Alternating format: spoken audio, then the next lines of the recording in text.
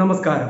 എല്ലാ മാന്യ സുഹൃത്തുക്കൾക്കും സിനിമ സിനിമ എന്ന യൂട്യൂബ് ചാനലിന്റെ ഏറ്റവും പുതിയ വീഡിയോയിലേക്ക് സ്വാഗതം. തമിഴ് സിനിമയിലെ യുവതാരങ്ങൾക്കിടയിൽ ഏറ്റവും മികച്ച മാർക്കറ്റ് വാല്യൂ ഉള്ള താരം ആരാണെന്ന് ചോദിച്ചാൽ പലർക്കും പല പല അഭിപ്രായ അഭിപ്രായങ്ങളായിരിക്കും ഉണ്ടാവുക. തീർച്ചയായിട്ടും നിങ്ങൾക്ക് എല്ലാവർക്കും അറിയാവുന്നതാണ്.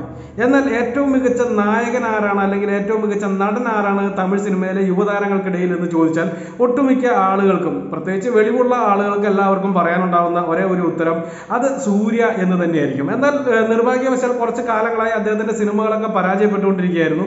അങ്ങനെ നിൽക്കുന്ന ഒരു സമയത്താണ് സൂര്യ റൈ പൊട്രോ എന്ന് പറയുന്ന ഒരു സിനിമ റിലീസ് ചെയ്യുന്നത്.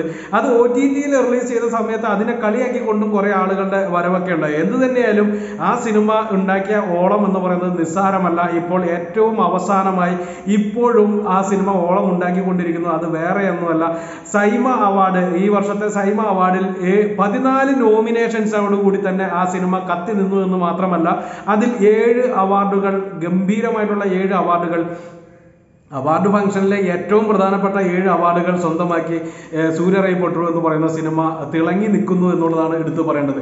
ആ അവാർഡുകൾ ഏതൊക്കെയാണെന്നുള്ള ഒരു ചെറിയ ഒരു വിശകലനമാണ് ഈ വീഡിയോയിലൂടെ ചെയ്യാൻ ആഗ്രഹിക്കുന്നത്. അപ്പോൾ നമുക്ക് നേരെ വീഡിയോയിലേക്ക് കടക്കും മുമ്പ് ചെറിയ റിക്വസ്റ്റ് നിങ്ങൾ ആദ്യമായിട്ടാണ് ഈ ചാനൽ കാണുന്നതെന്നുണ്ടെങ്കിൽ ദയവ് ചെയ്ത് ഈ ചാനൽ ഒന്ന് സബ്സ്ക്രൈബ് ചെയ്യാൻ ശ്രമിക്കുക.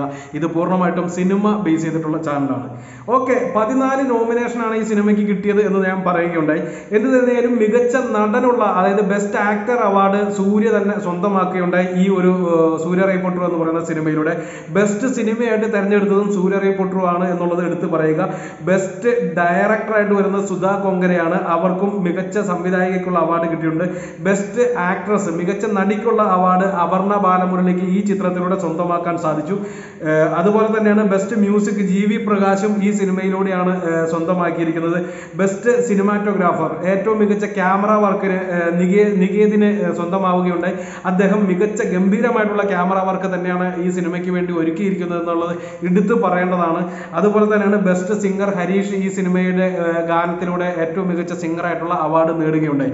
അങ്ങനെ പതിനാല് നോമിനേഷനുമായി അതിൽ നിന്ന് ഏഴ് അവാർഡുകളുമായി സൈമ അവാർഡിലെ ഏറ്റവും പുതിയ സൈമ അവാർഡിലെ തിളങ്ങുന്ന താരമായി തന്നെ സൂര്യയുടെ സൂര്യറൈ പൊട്ടറു മാറി എന്നുള്ളതാണ് ഏറ്റവും എടുത്തു പറയേണ്ടത്. ഓക്കെ അപ്പോൾ അടുത്ത വീഡിയോ വേണ്ടി വീണ്ടും കാണാം. നന്ദി നമസ്കാരം.